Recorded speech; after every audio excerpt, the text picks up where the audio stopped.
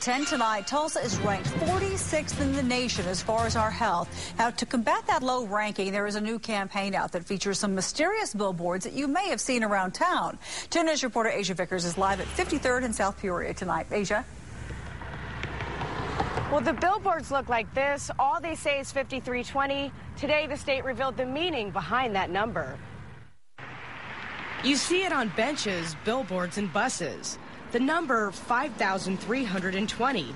But what does it mean?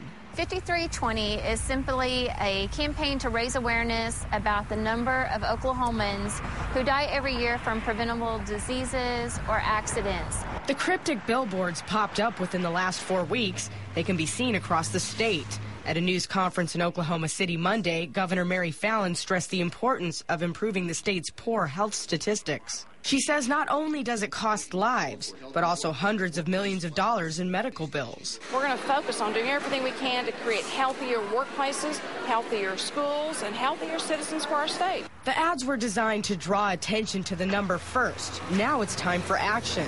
The next phase focuses on enacting policies that will have a positive impact on Oklahoma's health. This includes banning the use of electronic devices for teenage drivers, changing tobacco laws, and improving health education in classrooms.